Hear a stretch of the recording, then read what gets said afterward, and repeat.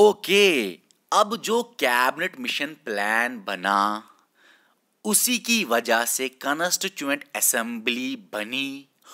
जिसका काम था कॉन्स्टिट्यूशन बनाना, लेकिन कब ये बनी कॉन्स्टिट्यूएंट असेंबली? नवंबर 1946 को। याद रखना कि गांधी और जिन्ना इस कॉन्स्टिट्यूएंट असेंबली के मेंबर नहीं रहे कभी भी अपनी चॉइस से। गांधी जिन्ना अपनी चॉइस से उन्होंने बोला, नहीं भाई, हम कॉन्स्टिट्यूंट असेंबली के मेंबर नहीं रहेंगे। और आपको मैं बताऊँ, यहाँ पे कैबिनेट मिशन प्लान के हिसाब से कैसे बना कॉन्स्टिट्यूशन सिंगल ट्रांसफरेबल वोट क्या होता है?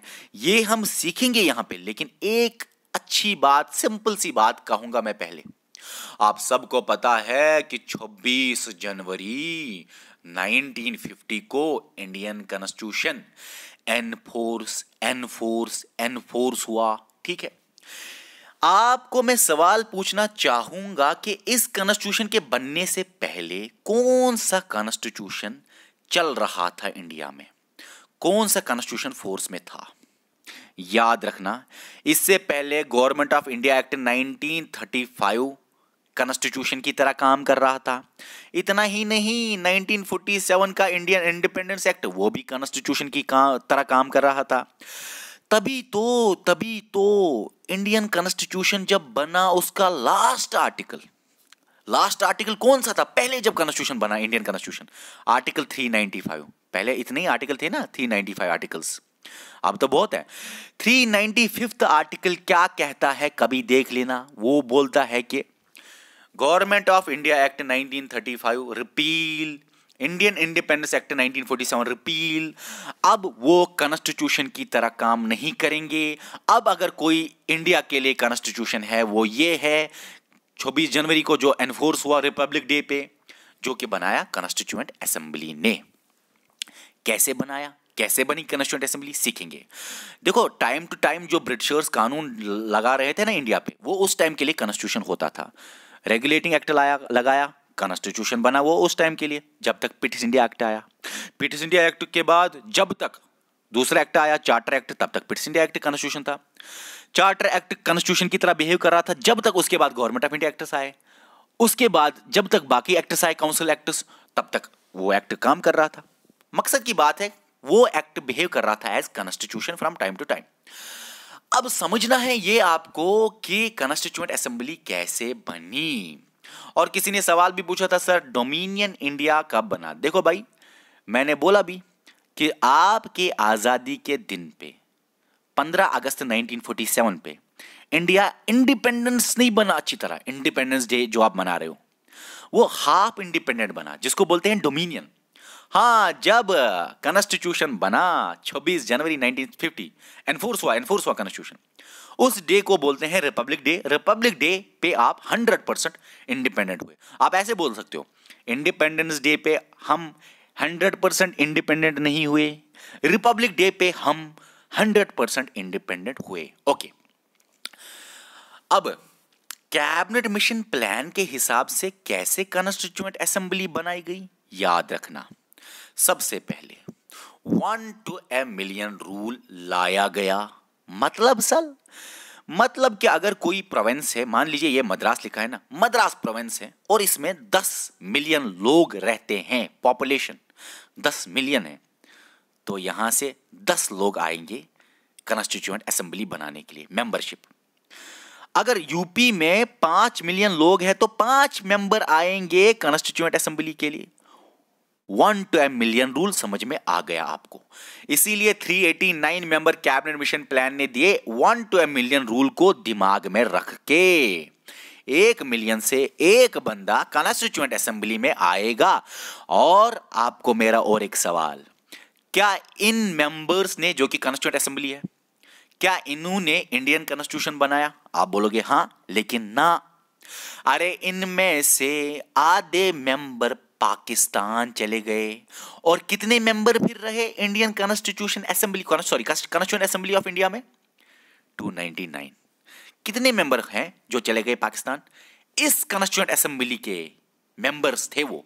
वो बने भी इसके मेंबर्स और फिर यहाँ से वो चले गए पाकिस्तान। कितने? 90 मेंबर्स तभी तो 299 मेंबरशिप हो गया कॉन्स्टिट्यूंट असेंबली का। 389 मेंबर से 90 पर्सन चले गए। पाकिस्तान जिस वजह से कॉन्स्टिट्यूंट असेंबली की मेंबरशिप गिर गई और यही हैं वो असल मेंबर्स असल में मेंबर्स जिन्होंने इंडियन कॉन्स्टिट्यूशन को बनाया। ओके, पाकिस्तान कब वो चले गए? इंडियन इंडिपेंडेंस एक्ट जब हुआ, आज़ादी के बाद ही चले गए पाकिस्तान। ओके, और और ये ये ये ये ये ये कब बने थे? ये कब बने थे? ये 389 मेंबर्स 1946 में। 1947 अगस्त के बाद इतने मेंबरशिप हो गए। ठीक है सर, ठीक है, समझ आ रहा है, आ रहा है, आ रहा है, आ रहा अब समझो इस बात को। जो इतने मेंबर अब सवाल अगर आए कभी आपको original membership of cabinet sorry constitute assembly आप ये लिखोगे। अगर सवाल आए इंडियन इंडिपेंडेंस एक्ट के बाद मेंबरशिप रिड्यूस हुआ, कितना? कॉन्स्टिट्यूट असेंबली अगर सवाल आए, ये इंडियन कॉन्स्टिट्यूशन कितने कॉन्स्टिट्यूट असेंबली के मेंबर्स ने बनाया? तो इतनों ने बनाया, ठीक है? ऑरिजिनली कितने थे? इतने थे। समझ आ गया आपको सौ कितने पाकिस्तान चले गए? 90 चले गए। ओके डियर ये जो 389 मेंबर्स है ना, ये दो जगहों से लाए गए। जब यहाँ पे ब्रिटिशर्स राज कर रहे थे तो दो तरह के प्रोविंसेस थे। एक थे राजा, महाराजाओं के states princely provinces princely states दूसरे थे ब्रिटिश इंडिया जहाँ पे ब्रिटिश डायरेक्ट रूल कर रहा था। ठीक है? इंडिया में ब्रिटिश इंडिया था और राजा महाराजाओं के स्टेट्स कोई नीचे कमेंट करो कि ये जो प्रिंसली स्टेट्स थे, इनके इनके ऊपर राजा महाराजा होता था? क्या ब्रिटिश का कंट्रोल प्रिंसली स्टेट्स पे होता था? इनडायरेक्ट कंट्रोल होता था? नीचे कमेंट करो। देखना चाहता हूँ मैं क्या जवाब दोगे। ये जो ब्रिटिश इंडिया 296 मेंबरशिप है, इसमें से भी डिवीज़न हुआ। 292 मेंबर्स कहाँ से आए? गवर्नर प्रोविंस से। चार कहाँ से आए? चीफ कमिश्नर प्रोविंसेस से। कितने गवर्नर प्रोविंसेस हैं? अलेवन आपके सामने ये। पढ़ लीजिए खुद ही। पढ़ने की कोई ज़रूरत नहीं। पढ़ना तो आता होगा आपको। देख लीजिए जूम भी मैंने किया। कोई बोलेगा, दिखाई नहीं दे रहा। और चार मेंबर्स आएँगे, चार चीफ कमिश्नर प्रोविंसेस से। ये लिखा है आपके सामने, पढ़ लीजिए। लेकिन जानना आपको ये है, सर, ये क्या है? ब्रिटिश इंडिया, जहाँ पे ब्रिटिश रूल कर रहा था डायरेक्टली, वहाँ पे गवर्नर प्रोविंसेस अलेवन और चार चीफ कमिश्नर प्रोविंसेस ये क्या फ़र्क क्या है? जैसे कि आज स्टेट्स और यूटीज है ना, वैसे ही ये भी थे। ये आप आज के स्टेट्स मान लीजिए, ये आप यूटीज मान लीजिए। यहाँ पे बहुत इनकी असेंबली होती थी पॉपुलेशन ज़्यादा होती थी गवर्नर प्रोविंसेस में। यहाँ पे असेंबली नहीं होती थी और पॉपुलेशन कम होती थी, ठीक है ना? जैसे आज यूटी डायरेक्ट कंट्रोल सेंटर के अंदर। ओके मकसद की बात कि यहाँ पे कम पावर्स थे, यहाँ पे ज़्यादा पावर्स थे। इनको बहुत पावर्स थे स्टेट्स की तरह, इनको कम पावर्स थे यूटीज की तरह। ओके अब जानिए इस बात को कि जो ये 296 मेंबर्स है टोटल वाले, ये और ये मिला के ब्रिटिश इंडिया वाले, इनमें इलेक्शन हो गया direct indirect sorry indirect election cabinet mission plan ने बोला, इनका होगा इनडायरेक्ट इलेक्शन और जो 93 आएँगे राजा महाराजा स्टेट से, उनका इलेक्शन ही नहीं होगा। राजा महाराजा खुद ही डिसाइड करेगा, मेरे राज्य से ये जाएगा, मेरे राज्य से वो जाएगा। उसको बोलते हैं नॉमिनेशन तो 93 प्रिंसली स्टेट्स के लिए इलेक्शन का प्रोसीजर नहीं था नॉमिनेशन का था, लेकिन राजा महाराजाओं ने ये 93 सीट्स फिल ही नहीं किए। इन्होंने बोला, भाई, हमको क्या करना कॉन्स्टिट्यूशन असेंबली से? हमको ना ही बनाना कॉन्स्टिट्यूशन हम खुश है. अरे, खुश तो होंगे, मज़े ले रहे थे, राजा महाराजा। अब, समझना आपको यह है कि जो ये प्रोविंसेस है, जिनमें इनडायरेक्ट इलेक्शन हुआ, अब ये इनडायरेक्ट इलेक्शन क्या होता है? जहाँ पे लोग वोट नहीं डालेंगे, जहाँ पे वोट डालेंगे कौन? स्पेशल पर्सन एमएलएज एमपीज ठीक है ना? लेजिस्लेटिव मेंबर्स या कोई खास बंदा। ओके। अब यहाँ पे भी किसी किसी खास बंदे ने ही वोट डाला। इन टू नाइनटी सिक्स मेंबर्स को चुनने के लिए ताकि ये जाए कॉन्स्टिट्यूट असेंबली में। इस इनडायरेक्ट इलेक्शन में किसने वोट डाला उनको बोलते हैं प्रोविंसेस हर एक प्रोविंस में लेजिस्लेटिव प्रोविंस होती थी। प्रोविंशियल असेंबली उसको बोल, बोला जाता था। सॉरी लेजिस्लेचर होता था, उसको बोलते थे प्रोविंशियल असेंबली प्रोविंशियल असेंबली होती थी हर एक प्रोविंस में, ठीक है? और वही प्रोविंशियल असेंबली वोट डालेगी इनडायरेक्ट इलेक्शन करेगी, ठीक है? ओके अब इस बात को समझो, ये इलेक्शन होगा थ्रू सिंगल ट्रांसफरेबल वोट वो मैं आपको नीचे समझाऊँगा सिंगल ट्रांसफरेबल वोट क्या होता है? उसी से इलेक्शन होगा, लेकिन उससे पहले ये जानो। देखो भाई, जितने भी सिलेक्ट करने थे प्रोविंसेस में, हर एक प्रोविंस में, हर एक प्रोविंस में याद रखना। हर एक प्रोविंस में सीट्स इस तरह से डिसाइड होते थे कि वो डिस्ट्रीब्यूट हो जाए सिक्स में मुस्लिम्स में और जनरल में। जनरल में मुस्लिम्स में और सिक्स में। सीट्स का डिस्ट्रीब्यूशन होना चाहिए पॉपुलेशन के हिसाब से। फॉर एग्ज़ाम्पल अगर हम मान लेते हैं ये कोई प्रोविंस है, एक प्रोविंस इनमें से बंबई ये बंबई है, ठीक है बंबई प्रोविंस है। बंबई प्रोविंस में से चार मिलियन लोग हैं। चार मिलियन आपको पता है वन टू मिलियन रूल मतलब यहाँ से चार लोग आएँगे। दो मिलियन है जनरल जनरल में हिंदूज आते थे और बाकी रिलीजन आते थे। एक मिलियन है सिख और एक मिलियन है मुस्लिम्स आपको पता है, एक मिलियन में से एक जाएगा तो एक ही आएगा। एक मिलियन सिक्स में से एक मेंबर जाना है उसको। और दो जनरल पॉपुलेशन दो मिलियन जनरल पॉपुलेशन में से दो बंदे जाएँगे। ठीक है? समझ में आ गया? पॉपुलेशन के हिसाब से सीट्स डिस्ट्रीब्यूट हो गए among six Muslim general okay done लेकिन इस बात को समझो। इस एक बंदे को चुनेंगे इस प्रोविंस के सिक्स बस सिक्स चुनेंगे और कोई नहीं वोट डालेगा।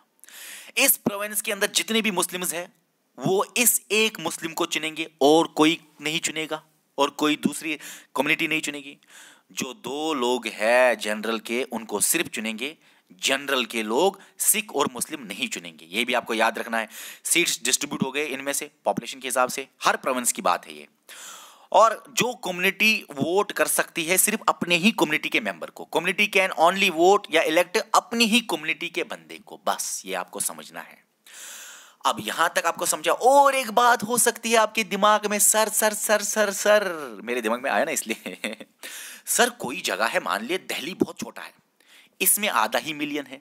तो आधा बंदा जाएगा क्या? क्योंकि वन टू मिलियन रूल के हिसाब से आधा मिलियन आधा बंदा, किसको काटे वो, फिर वो भेजे। दिल्ली को और दूसरे को कंबाइन किया जाएगा, फिर अगर इसका भी आधा, इसका भी आधा, दो दो का हो गया एक मिलियन इन दो में से फिर एक जाएगा, ठीक है? जिसकी पॉपुलेशन एक मिलियन नहीं है, आधी मिलियन है, उसको दूसरे के साथ ज्वाइन करके कर, करते थे जुगाड़, ठीक है? समझ आ गया आपको? अब आप देख लीजिए। सिंगल ट्रांसफरेबल वोटिंग के हिसाब से इन मेंबर्स को इलेक्ट किया गया। किनको थ्री एटी नाइन मेंबर्स को? सर, नहीं। इनका तो इलेक्शन हुआ ही नहीं। इनका तो नॉमिनेशन हुआ। इन मेंबर्स की बात है इलेक्शन है, तभी तो इस साइड लिखा। ये बात खत्म हो गई। इनका नॉमिनेशन होना था। कैबिनेट मिशन प्लान के हिसाब से इन्होंने सीट्स को फिल नहीं किया। बात खत्म। जो ये इलेक्शन वाले हैं इनडायरेक्ट इलेक्शन वाले, इनमें भी इलेक्शन और इनमें भी इलेक्शन वाले, ठीक है? इलेक्शन जो होगा अब जब इलेक्शन होगा सिंगल ट्रांसफरेबल वोट के हिसाब से होगा, वो क्या होता है? सिंगल ट्रांसफरेबल वोट ये होता है कि उसके लिए एक इक्वेशन होती है। सबसे पहले इक्वेशन को जानो। सिंगल ट्रांसफरेबल वोट बोलता है, सबसे पहले इक्वेशन होनी चाहिए। क्या? कोटा बराबर होना चाहिए। और कोटा क्या होता है? टोटल वोट्स मैं ऐसे लिखूँगा, यहाँ पे लिखा ही है, मैं क्यों लिखूं? जूम करूँ इसको, बात खत्म। ओके सिंगल ट्रांसफ़र वोट क्या बोलता है? कोटा आना चाहिए, वो सिलेक्ट हो जाए। जिस बंडे का कोटा हो गया, वो जाएगा सिलेक्शन के लिए। वो जाएगा, वो सिलेक्ट हो गया, वो कॉन्स्टिट्यूट असेंबली का मेंबर बन गया। कोटा क्या है? उसकी इक्वेशन क्या है? टोटल वोट्स मतलब जितने वोट्स पड़े, जितने वोट्स पड़ेंगे डिवाइडेड बाई कितनी सीट्स है? प्लस वन प्लस वन ये इक्वेशन है। अगर एक प्रोविंस है, मान लिया मैंने एग्ज़ाम्पल यहाँ पे मद्रास एग्ज़ाम्पल भी दे दी है मैंने। ठीक है, मद्रास। मद्रास, ये इनडायरेक्ट इलेक्शन है भाई। मद्रास के प्रोविंशियल असेंबली जो है ना असेंबली प्रोविंशियल असेंबली अंदर की, मद्रास की, सिर्फ़ वो वोट करेंगे। तो वोट्स कितने हुए टोटल मद्रास की प्रोविंशियल असेंबली मान मैंने माना कि मेंबर्स है हज़ार। इतने नहीं होते थे एग्ज़ाम्पल दे रहा हूँ, हज़ार मेंबर्स तो हज़ार मेंबर वोट करेंगे, ठीक है सर। टोटल वोट्स आ गया थाउज़ेंड यहाँ पे लिखा है थाउज़ेंड डिवाइडेड बाय सीट्स कितने हैं? आप मान लो कि तीन मिलियन है मद्रास की पॉपुलेशन तो थ्री मिलियन में से कितने जाएँगे कॉन्स्टिट्यूंट असेंबली के मेंबर बनने के लिए? सर तीन जाएँगे. इसीलिए लिखा मैंने सीट्स के बदले यहाँ पे थ्री ठीक है? समझ में आ रहा है ना? देखा, हज़ार डिवाइड बाई सीट्स सीट्स कितने? थ्री और प्लस वन यहाँ पे इक्वेशन में है प्लस वन है, यही लिखा मैंने. ये इक्वेशन जब मैंने की हज़ार votes divide by three seats plus one plus one वहाँ आया टू हंड्रेड वन रिज़ल्ट एक बंदे का कोटा है दो सौ एक सीट्स जिसको दो सौ एक सीट मिलेगी, वो सिलेक्ट होगा कॉन्स्टिट्यूंट असेंबली के लिए. अब यही हम जानेंगे. सिंगल ट्रांसफरेबल वोट का सीखना बहुत इंपॉर्टेंट है भाई, क्योंकि प्रेसिडेंट का इलेक्शन वाइस प्रेसिडेंट का इलेक्शन राज्यसभा का इलेक्शन और लेजिस्लेटिव काउंसिल का इलेक्शन ये सब का होता है इसी के हिसाब से. और ये सीखना बहुत इंपॉर्टेंट है. ओके देखो सर, समझ आ गया। अब सिंगल ट्रांसफरेबल वोट क्या है? जो भी ये बंदे प्रोविंशियल असेंबली में हैं, और पता है ये कैसे हुए थे? खुद सिलेक्ट खुद खुद खुद, मद्रास के अंदर। जो ये लेजिस्लेटिव ये प्रोविंशियल असेंबली के मेंबर थे, ये खुद हुए नहीं थे सिलेक्ट इलेक्ट लोगों ने नहीं किए थे। ये डायरेक्ट इलेक्शन से इलेक्ट नहीं हुए थे। ये लिमिटेड फ्रेंचाइज से इलेक्ट हुए थे। लिमिटेड फ्रेंचाइज होता है जिसके पास ज़्यादा प्रॉपर्टी हो जिसका एजुकेशन खतरनाक हो जो टैक्स भरता हो गवर्नमेंट को उसी को प्रोविंशियल असेंबली का मेंबर लाया जाएगा असेंबली का मेंबर बनाया जाएगा। लिमिटेड फ्रेंचाइज ये गवर्नमेंट ऑफ़ इंडिया एक्ट की हिस, के हिसाब से बनाए गए थे। चलो हज़ार थे। मद्रास के वोट्स कितने हैं? हज़ार। मान लिए सर ओके सीट्स कितने हैं? तीन यहाँ से सिलेक्ट करने। मान लिया सर ओके उसके बाद इलेक्शन में कितने उठे? इलेक्शन में उठे, मैंने बोला A B C D E F G सात लोग इलेक्शन में मैंने मैंने माना कि उठे मद्रास से। अब इनमें से तीन ही सिलेक्ट होने हैं, कैसे होंगे? वही देखेंगे। एक एक मेंबर असेंबली मेंबर के पास एक एक बैलेट पेपर मिलेगा उसको सेक्रेट बैलेट पेपर मतलब किसी दूसरे को नहीं दिखाना। ऐसे मान लो, एक बैलेट पेपर इनको मिला, एक एक को मिला। ये बैलेट पेपर पे फॉर एग्ज़ाम्पल इसकी अगर बात करें इस बंदे की, इसके पास बैलेट पेपर आया। उसने अपने बैलेट पेपर पे प्रेफरेंस देनी है। तभी सिंगल ट्रांसफरेबल वोट को बोलते हैं प्रेफरेंशियल वोटिंग भी। क्या प्रेफरेंस वो बोलेगा ए को मैं नंबर वन दूँगा। यही सिलेक्ट होना चाहिए मद्रास से फॉर कंस्टिट्यूंट असेंबली फिर यही बंदा बोलता है, अगर ये ए नहीं सिलेक्ट हुआ तो दूसरे नंबर पे बी देता हूँ मैं। अगर वो नहीं तीसरे नंबर पे सी अगर वो नहीं फिर जी जाना चाहे फोर्थ नंबर पे, फिर एफ़ जाना चाहे फिफ्थ नंबर पे। मतलब ये बोलता है, अगर ये नहीं तो वो जाना चाहे दूसरी प्रेफरेंस थर्ड प्रेफरेंस ये प्रेफरेंस देते हैं। जैसे कि ये वाले बंदे ने, इसको बैलेट पेपर मिला, उसने ये प्रेफरेंस दे दी। एग्ज़ाम्पल उसने बोला, पहला नंबर सी सिलेक्ट होना चाहिए। अगर वो नहीं हुआ, दूसरा किसको? हाँ दूसरा यहाँ पे तो ए सिलेक्ट होना चाहिए। तीसरा किसको? ये है तो डी सिलेक्ट होना चाहिए। मतलब कि ये हर बंदे को जितने बंदे उठे हैं इलेक्शन के लिए, बोलते हैं कि वो सिलेक्ट होना चाहिए, वो सिलेक्ट होना चाहिए, वो सिलेक्ट होना चाहिए। और दूसरे नंबर पर तीसरे नंबर पर समझ आ गया आपको। अब आपको जानना है सिलेक्ट कौन होगा? सिंगल ट्रांसफरेबल वोट क्या होती है? बहुत आसान है, बहुत आसान है। देखो कोटा आपको पता है, मद्रास के लिए 2001 सीटें मिलनी चाहिए ओके देखो, जब ये उठे थे इलेक्शन के लिए A B C D F G उनमें से हज़ार सीट्स में से, क्योंकि टोटल वोट्स हैं हज़ार हज़ार वोट्स में से 200 वोट्स जी को मिले। जी जो बंदा है 200 वोट्स मिले। 160 140 इसी तरह सबको अपने अपने वोट्स मिले। आप मुझे बताइए, कौन सिलेक्ट हुआ? तीन तीन तो हमें सिलेक्ट करने हैं। कौन तीन सिलेक्ट हुए? आप बोलोगे, दो दो वाला। ठीक है, दो सौ वाला। एक सौ अस्सी वाला। फिर एक सौ साठ वाला। सर, ये तीन सिलेक्ट हुए एफ़ जी ए भाई, अभी कोई सिलेक्ट नहीं हुआ। क्योंकि कोटा की लाइन किसी ने क्रॉस नहीं की।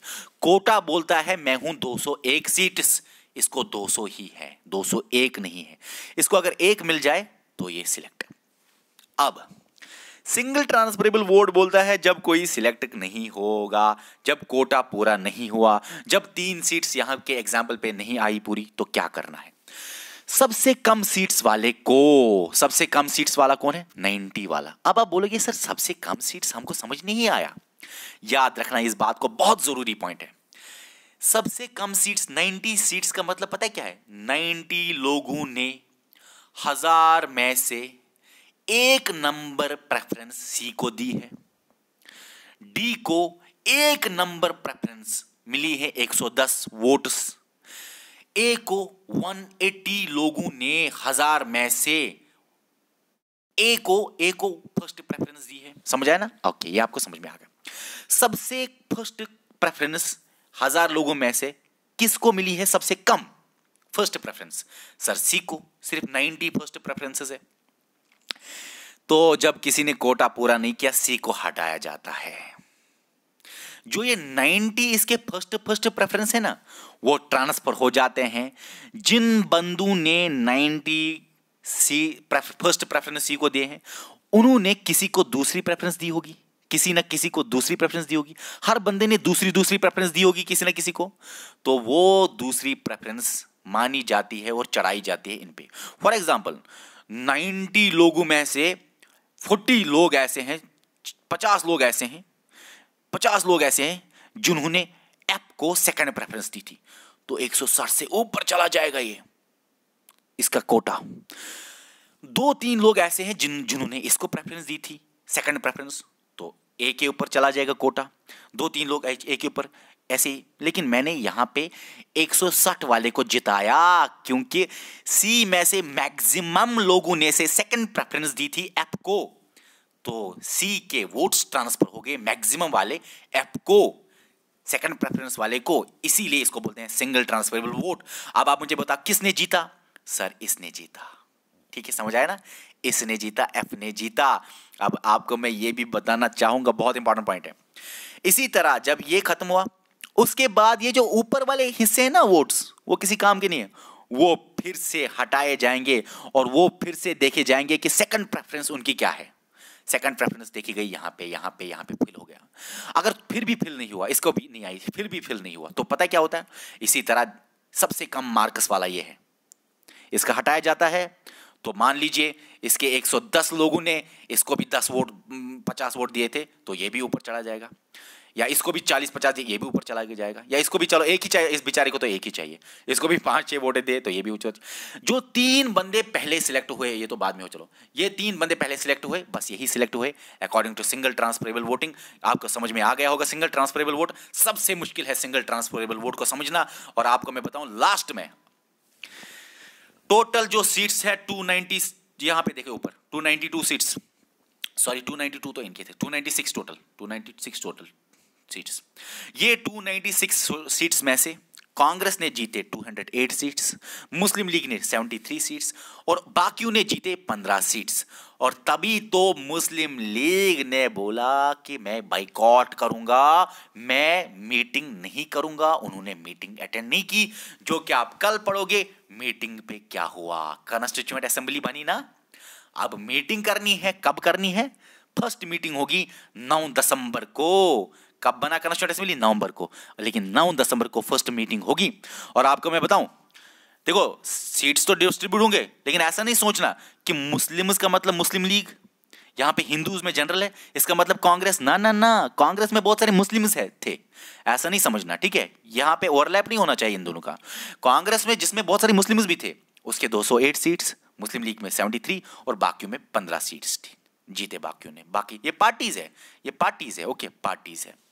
अब ठीक है, आपको समझ में आ गया, मैक्सिमम कांग्रेस के, इसके अंदर आ गए कॉन्स्टिट्यूंट असेंबली के अंदर आ गए, और यही बनाते हैं फिर कॉन्स्टिट्यूशन आपको कल मैं सिखाऊँगा कॉन्स्टिट्यूंट असेंबली की मीटिंग हमको क्या पढ़ना है? कॉन्स्टिट्यूंट असेंबली की मीटिंग और आपको मैं बताऊँ, सबसे major portion government of India act 1935 का है इंडियन कॉन्स्टिट्यूशन में।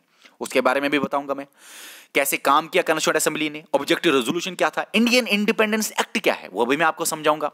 फिर जब कमिटीज बनाए बनाए गए, major committee, minor committee, drafting committee, वो क्या होता है, कब इनएक्ट हुआ कॉन्स्टिट्यूशन, कब एनफोर्स हुआ कॉन्स्टिट्यूशन, क्या फ़र्क थी, याद रखना कुछ चीज़ें कुछ चीज़ें 1949 में ही 1949 26 नवंबर 1949 में ही कुछ चीज़ें एनफोर्स हुए थे। हमेशा बताते हैं ना हम कि यहाँ पे इनएक्टमेंट डेट है, यहाँ पे बना एनफोर्स हुआ 26 जनवरी को। वो सारी चीज़ें मैं आपको और लास्ट में सबसे इंपॉर्टेंट अरे कॉन्स्टिट्यूंट असेंबली का क्रिटिसिज्म उससे क्वेश्चन आने के भी चांसेस होते हैं। क्या क्रिटिसिज्म था इसका? वो भी हम देखेंगे।